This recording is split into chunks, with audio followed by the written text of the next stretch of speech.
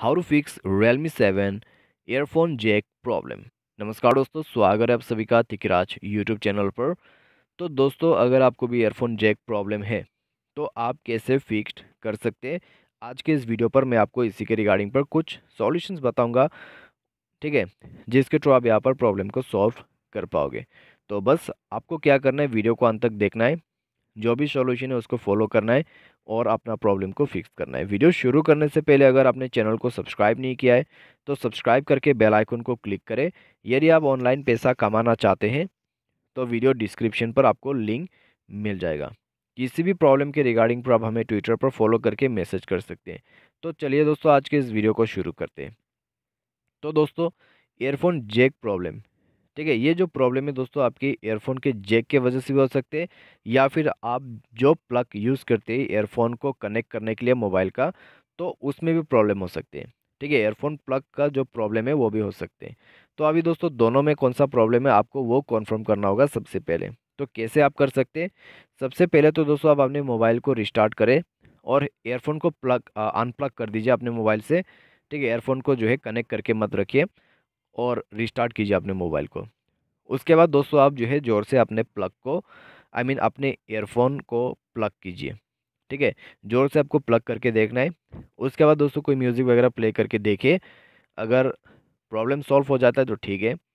अगर फिर भी प्रॉब्लम आते हैं हेडफोन जैक का दोबारा से तो आपको करना क्या है? तो आप दोस्तों एक बार दोबारा से जो है अनप्लग कीजिए अपने ईयरफोन को।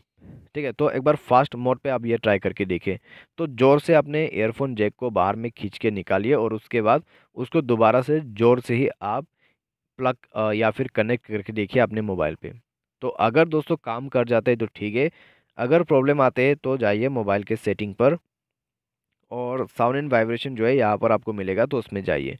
उसमें जाने के बाद रियल साउंड टेक्नोलॉजी इसको बंद करना है साथ ही साथ इन ईयर मोनिटरिंग उसको भी बंद कर देना है, ठीक है? तो दोनों सेटिंग ही आपका बंद होना चाहिए। उसके बाद मोबाइल को रिस्टार्ट करके दोबारा से चेक करके देखिए।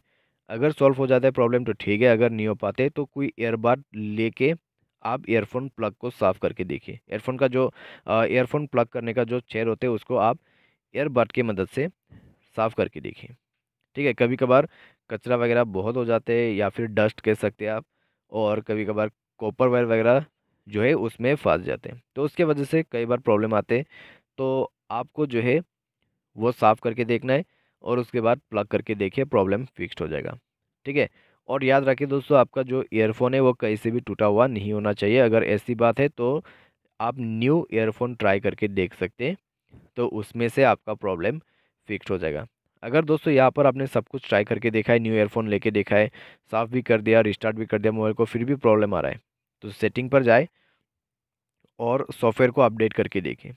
सॉफ्टवेयर अपडेट करने के बाद अगर प्रॉब्लम सॉल्व हो जाता है तो अच्छी बात है।